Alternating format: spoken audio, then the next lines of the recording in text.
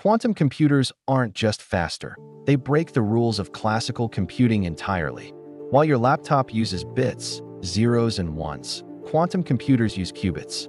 A qubit can be 0, 1, or both at once, thanks to superposition. And when qubits become entangled, their states link instantly, even miles apart.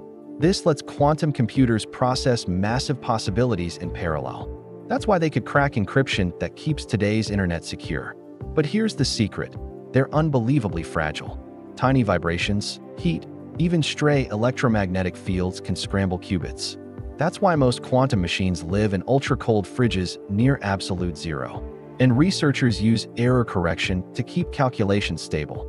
Tech giants are racing to make quantum computers practical, because once they scale, they could transform chemistry, AI, and medicine. Imagine designing drugs, materials, or AI far beyond today's power. Quantum computers aren't magic, they're physics pushed to its edge, and that edge could rewrite technology as we know it. Subscribe our channel for more hidden science and tech secrets.